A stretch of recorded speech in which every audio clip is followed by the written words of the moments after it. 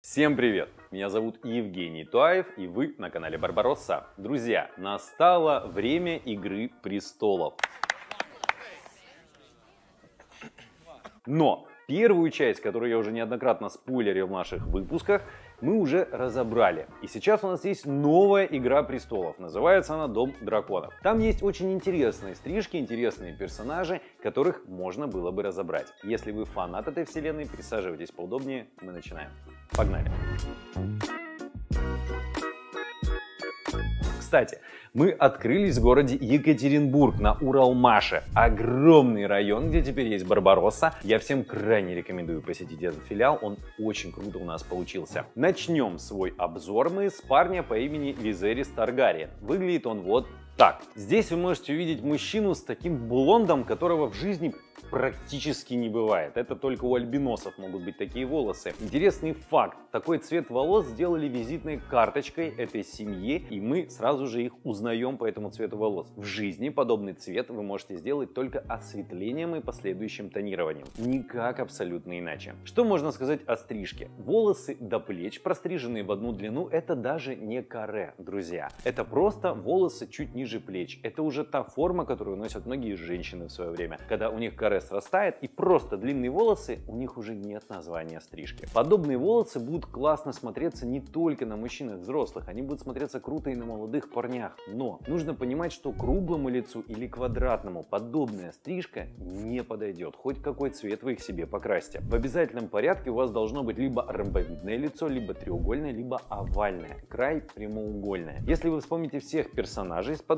стрижками, то круто они смотрелись именно на таких ребятах. Мы переходим с вами дальше к парню по имени Деймон Таргариен. На самом деле у него есть что-то прям такое эльфийское во внешности, и сейчас вы увидите почему. Вот он. Заостренные скулы, вытянутое лицо, стройный, худощавый и копна белоснежных волос. В чем крутость его стрижки? Обратите внимание, волосы по факту не касаются плеч в большинстве случаев. Они довольно длинные, пышные, и он очень круто собирает их. Фронтальная часть оттягивается на затылок, фиксируется резинкой либо косичкой, и за счет этого волосы не спадают на лицо, не закрывает его и сохраняется объем. Скорее всего, конечно же, это парик, и подобную форму в жизни мы не сможем себе позволить. Но если у кого-то растут ультра густые, мягкие и, допустим, светлые волосы, то их можно обесцветить и привести к такой форме. Но, несмотря на то, что образ был очень крутой, в третьей или четвертой серии он решил сходить в барбершоп. Он пришел туда, попросил стрижку Рэя из джентльменов, и вот так он стал выглядеть. Ну что ж, друзья, напишите в комментариях, как ему было лучше с внешностью эльфа, либо вот с такой грубоватой внешностью, когда он уже подстриг и уложил все волосы назад. Мы переходим с вами к следующему персонажу, это Отто Хайтауэр. Мы не будем разбирать характер героя, мы разберем его, потому что у него очень круто и гармонично выглядит борода и стрижка. Вы видите мужскую стрижку на среднюю длину волос, уложенную назад с помощью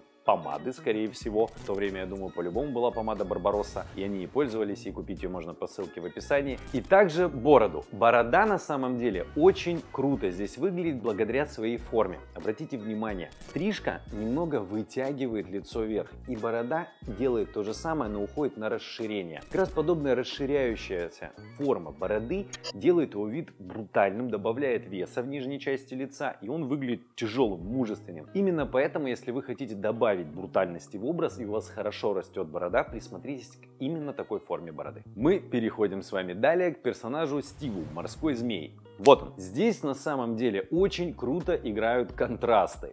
Белоснежные волосы и черная кожа. На самом деле контраст кожи и волос это очень излюбленный прием многих стилистов. Что будет, допустим, если взять девушку, типичную израильтянку, еврейку, и выбелить ее до? Будет то же самое, она будет привлекать внимание. Здесь аналогичная ситуация. Чернокожий парень со светлыми волосами. Плюс это светлые дреды, белоснежные. Выглядит ярко и необычно, в купе с э, седой бородой, это просто пушечно. Ну, если вы не снимаетесь в «Игре престолов», то я думаю, вам он навряд ли подойдет. Это очень эпатажно и очень геморройно за ними ухаживать. Ну, на самом деле, за дредами, да, их нужно подкручивать, подваливать, следить за ними, грамотно мыть. Ну и плюс они белые, и у нас не так-то чисто в воздухе, и пыль, грязь будет оседать, и зачем это все надо. Мы переходим с вами дальше. Здесь у нас персонаж, который явно вдохновлялся первым сезоном и Джоном Сноу в частности. Вот он. Этого персонажа зовут Сир Кристен Коль. Вы можете увидеть его с вот такой стрижкой, В сериале он плюс-минус с ней с одной и той же и ходит. Это мужской боб. Она же стрижка серфера, она же стрижка Джона Сноу. Это та самая стрижка, которую многие парни, когда отращивают волосы в каре, носят. На самом деле это классная, крутая удлиненка, такая львиная грива, которую я всегда очень сильно восхищаюсь, когда у людей она круто растет. Если у вас хорошо растут волосы, я уверяю, что в 90% случаев подобные стрижки вам подойдут. Мы уже делали выпуски об этой стрижке на нашем канале, обязательно посмотрите. Мы переходим с вами к следующему персонажу, это Лейнер Виларион. Вот он. Почему мы его взяли?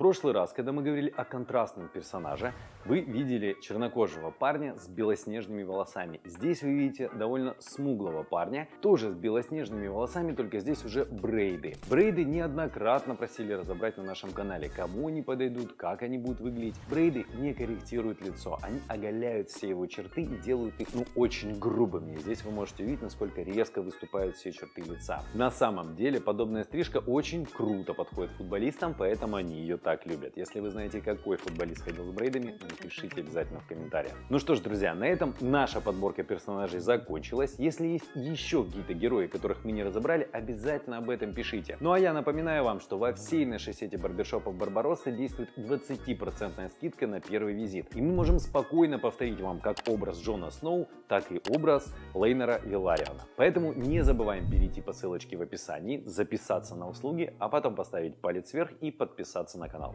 До встречи в следующих выпусках.